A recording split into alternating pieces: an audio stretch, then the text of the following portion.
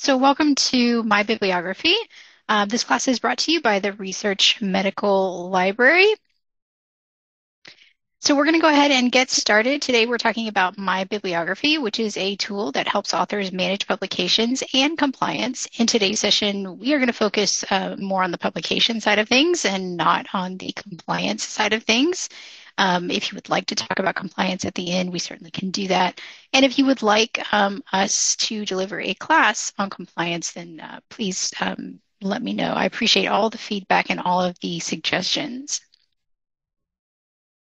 Okay, so first, um, accessing um, my bibliography. My bibliography is actually a tool or a feature of the NCBI account, or what's sometimes called the My NCBI account. Many of you are probably familiar with this because it is NCBI is also the um, I like to call it the parent of PubMed, and almost everybody here at the institution is familiar with PubMed.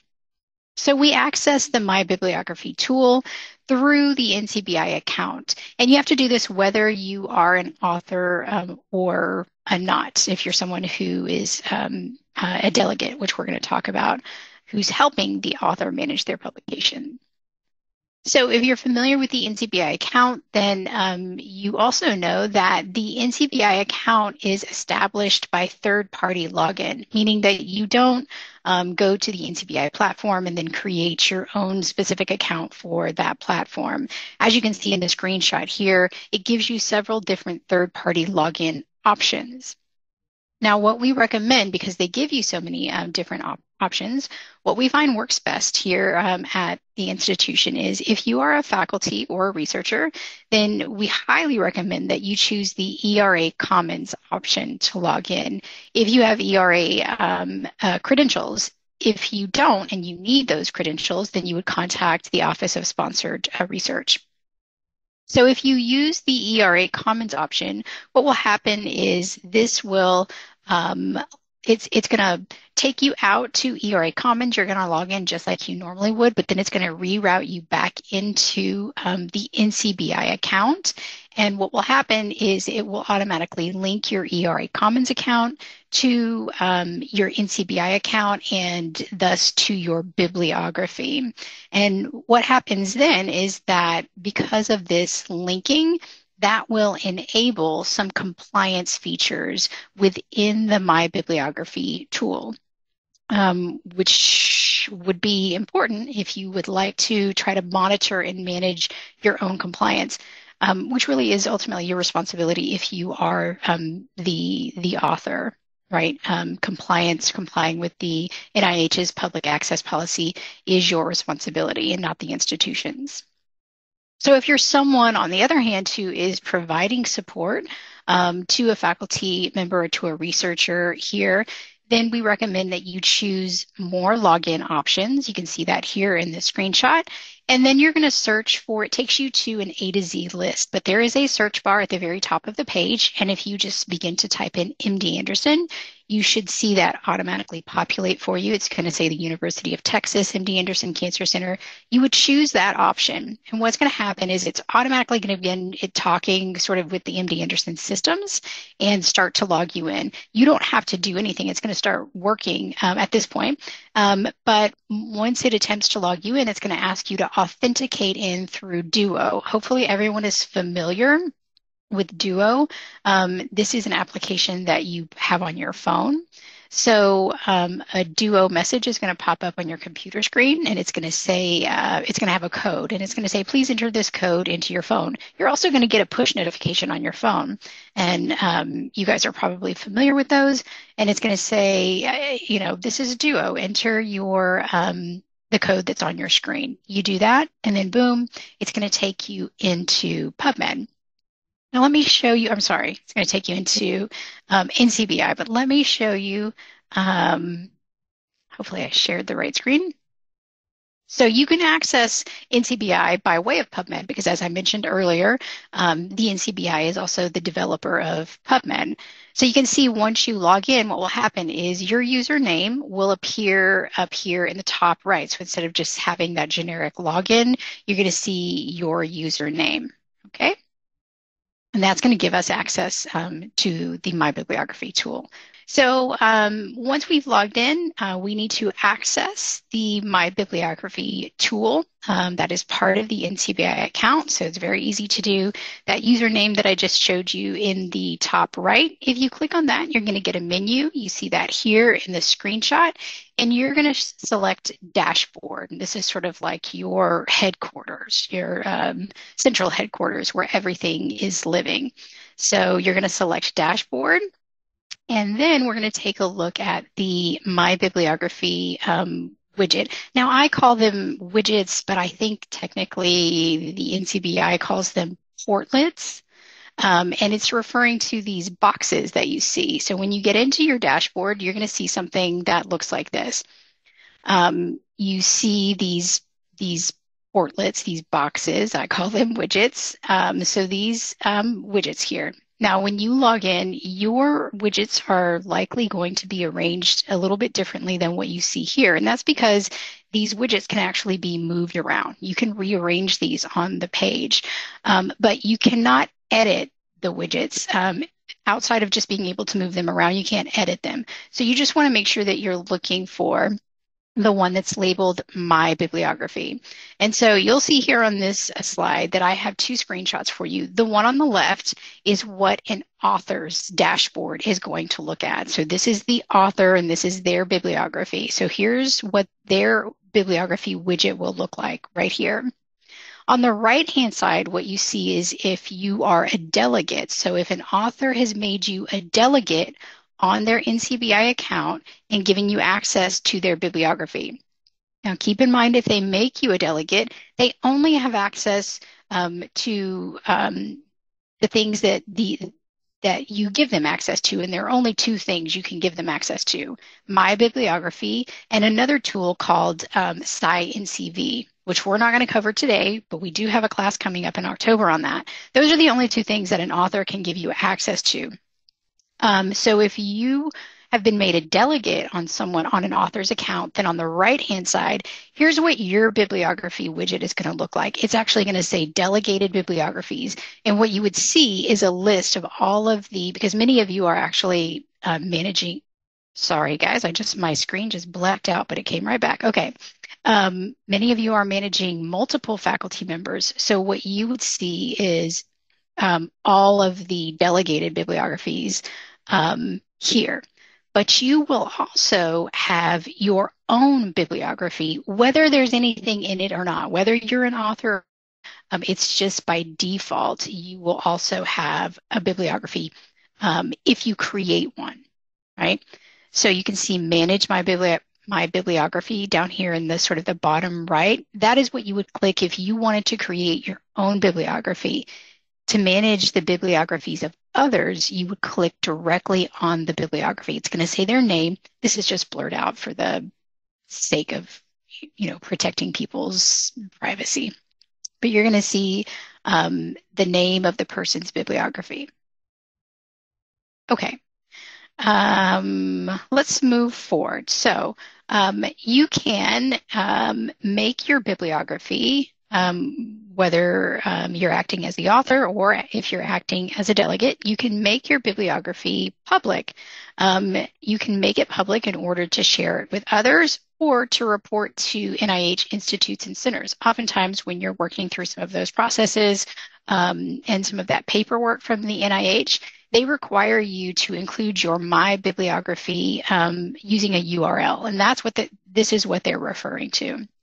So when you make your bibliography public, what happens is it generates a URL, and then it's that URL which links to a public view page um, of your bibliography, and you can copy and paste that URL um, into documents or um, into an email to share with others. And the bibliography will display all of the citations that are not set to private. By default, everyone, everything's going to be public, but you can set some citations to private, which we're going to talk about um, in a few slides. So I have instructions here on the slide. It's very simple. Um, it's just really just one step, but I'm going to take you into um, my bibliography and I believe mine is currently private. I turned it private so that I could show you because I feel like this is a little bit tricky. I don't know it feels a little hidden to me. But here's my bibliography. And right up here at the top, you can see your current, if you guys can see this, your bibliography is currently private. If you want to share with a URL, make your bibliography public. And you see this text is italicized. That is where you click on that italicized text to make the bibliography public. It's going to ask you to confirm that you do want to make it public. And then it's going to give you a little confirmation. You saw that pop up. And now what we see is instead of that italicized text, we see the URL, right? So I can copy this URL and then if you wanted to, for whatever reason, make it private, that little italicized text now appears just beneath um, the URL. So you would click there to make it private. So next up, um, adding a delegate. So this is really if you're someone here who's an author, or if you are someone who wants to be a delegate, then you can take these instructions uh, to your author. So it's very easy. Um, I even have some an email template that um, if I will share in the email uh, in the follow-up email with you all that you can send to your faculty member if you would like to request that they make you a delegate. So um, the author would just go to, once they've logged in, they would go to their account settings. They're going to scroll down to a section that's labeled delegates. That's what you see here in the screenshot on the right.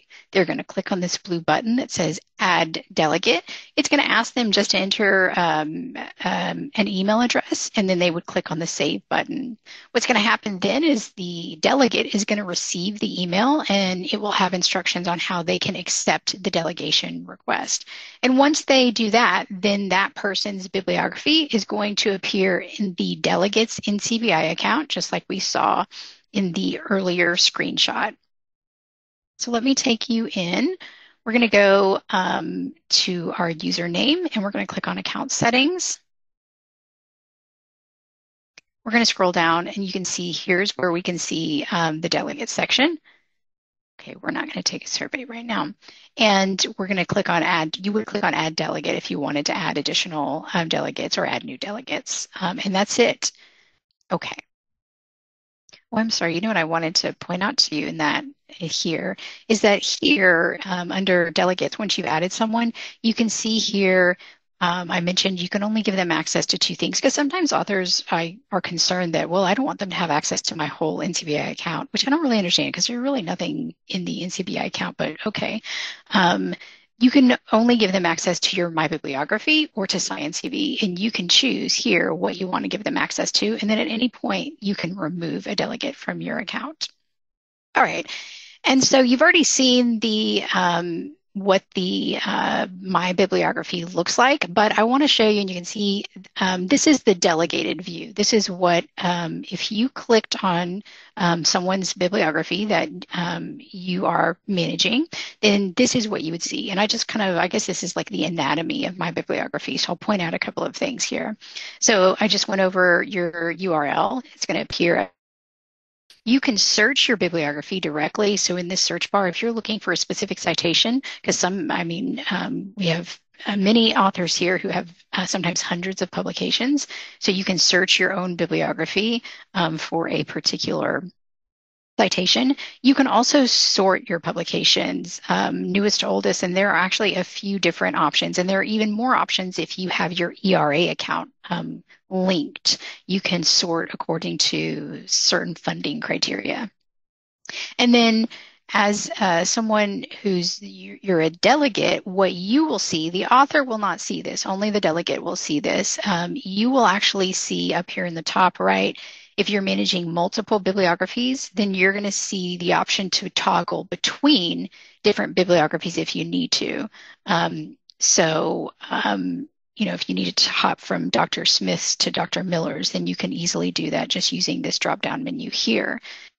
Okay, so now how do we use um, my bibliography? Um, to start, um, you would add citations if you're not yet using my bibliography, and that's very um, easy to do. Um, we are going to, you can see in the screenshot, I'm really just going to cover adding from PubMed and adding from a file. Um, I think you can also add manually, and that's sort of um, self-explanatory. You need to be careful about that, though, adding citations manually. just to make sure that you do not incorrectly input any of the bibliographic data. But you can add directly from PubMed. Um, please keep in mind that you can only add citations that are actually indexed in PubMed. Now, for most of you, that's not that's perfect because most of you, your um, you or your um, faculty members' publications are very likely going to be indexed. Most of their publications are going to be indexed in PubMed. So the best way to search is to search by um, uh, author name. So you want to do that in this format. Last name, initials. You can use the author, we call this a field tag. You see this AU in brackets. Here's an example, Smith AB and AU in brackets. Um, but you can also search by publication title if you wanted to search um, for citations one by one. So let me take you into, um, back into there we go. Clicked on the wrong link. So we're going to go to add citations and then we're going to choose from PubMed. And what did I say? A, B, A, U. So I'm going to do an author search and I'm going to click on search PubMed. And it's going to give me lots of results because this is just a made up name, and also Smith is a very common name. Um, but hopefully, you would have a less ambiguous author name and you would be able to easily identify them. And then what you would do is just mark the citations that you believe or know belong to that author.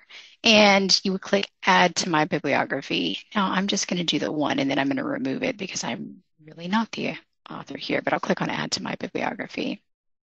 Okay, and you're going to get a confirmation down here at the bottom that the citations were successfully added to my bibliography, and you can continue um, to move down the list or continue to run different searches.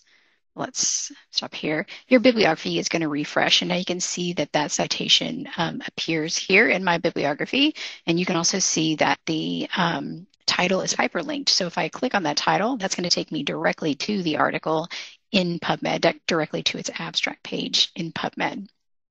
So I can add citations um, directly from PubMed that way.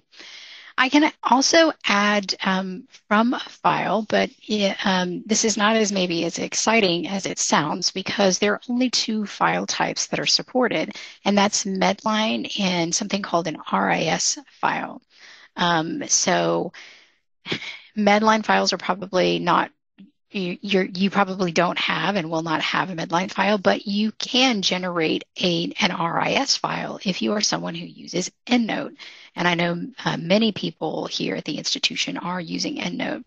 So if you have citations in your EndNote library that belong to you as the author or that belong to the author you're supporting, you can actually export those from EndNote. And when you export them, there's a filter there that you choose and it's RIS. That's what you would choose. You would save that to your computer.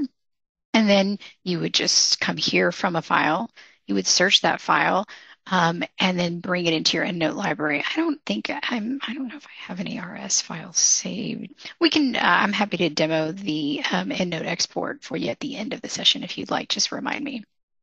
So that's how you can add from, from PubMed or from a file. And of course you can add uh, manually. And if you add manually, it gives you this form where you're just filling in um, with the information that you have on hand. Um, I know that a lot of people will, as soon as something is published, they'll come in here and want to try to add it. I would advise you, I certainly appreciate the spirit of being on top of things, but I would advise you to maybe hold off if you can, because that citation is going to show up in PubMed, right? And then you can just pull it directly from PubMed.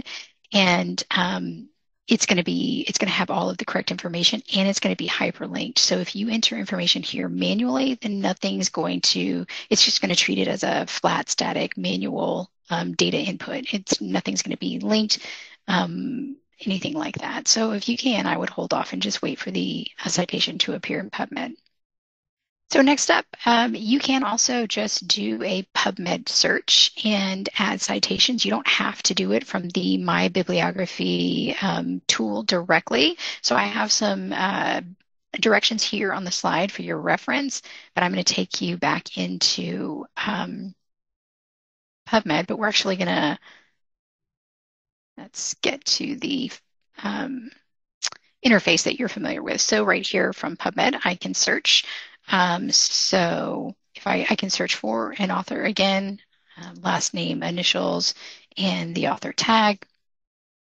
So if you're just more comfortable sort of searching this way and choosing things, you can do it this way. You would just mark the citations that you know belong to the author. And then if you click on send to, you could choose my bibliography. Now, if you're someone who's the delegate, if you're the author, it will look just as you see it here, Uh, my bibliography, and click on add. But if you're someone who is a delegate, what's going to happen when you get here is it's going to ask you which bibliography do you want to send it to? Do you want to send it to your own? Do you want to send it to Dr. Smith? Do you want to send it to Dr. Miller or whoever else? So you would choose the appropriate bibliography and then just click on add to bibliography. I'll add these and then remind myself to go back and remove those. So you're going to get a confirmation that new items were added to your bibliography. You can either click right here right away to edit your bibliography, or you can wait and just go into your dashboard. And so now we can see um, those citations appear.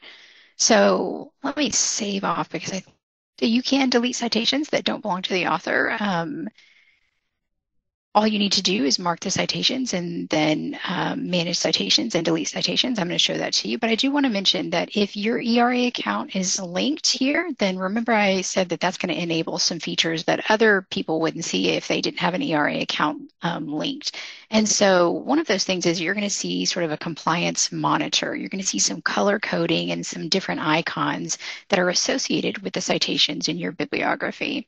So oftentimes we get questions um, when it comes to compliance about, um, well, uh, my author was not the was not the lead author or they were not an author on this paper, but the paper appears in their bibliography because the paper was supported by their funding, and that's what happens, and you can't get away from that.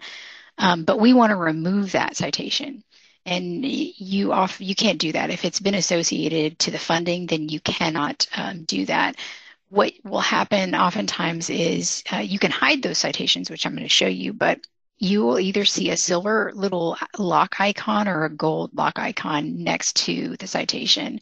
And so if you have better reason for, like maybe the paper was um, associated with uh, your funding, but it's really not. It was just a mistake.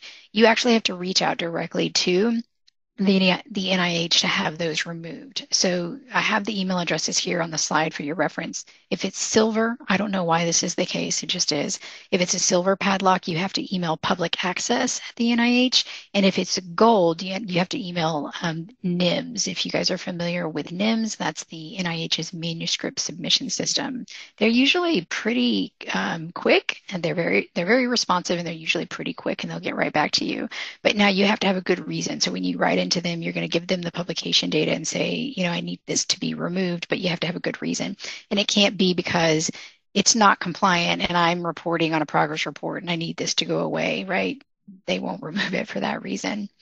Um, so let me take you into my bibliography and we're just going to mark the citations that we want to delete. These are not mine, so I'm going to remove those. We're going to go to manage citations and then delete citations and confirmation, click OK. And done. My bibliography is going to refresh. And now those um, are going to be gone from our My Bibliography. So that is how you delete citations. And then hiding citations. So I just mentioned this. Um, you can hide citations, and I we do have, um, uh, gosh, for example, Dr. Dreda is the current, uh, he's the PI on the Cancer Center grant. And so many papers will appear in his bibliography, right? That he is not an author on, but he's the PI on the funding that supports those papers. But for different reasons, when he's sharing his bibliography out um, with different um, entities, different audiences, he may want to hide those. And you can do that. You can set them to private. And this means that they will not appear on your public um, bibliography. So remember I shared that link with you in the chat where you could see my, that's the public view of your bibliography. So you can hide things so that when you share or when people come across your, the URL to your bibliography, those items do not display. Um, so you can see in this screenshot here, but um, let's pop in. I don't know if I, yeah, let me mark these. So I would click mark the citations, go to manage citations, and then I would set to private confirmation say yes, and then I'm going to get um, another confirmation done. So now when you went, if you go back into the chat and click on the link that I shared with you, you're not going to be able to see these first two. If I wanted to undo that, uh, all I need to do is mark those, manage, and set to public.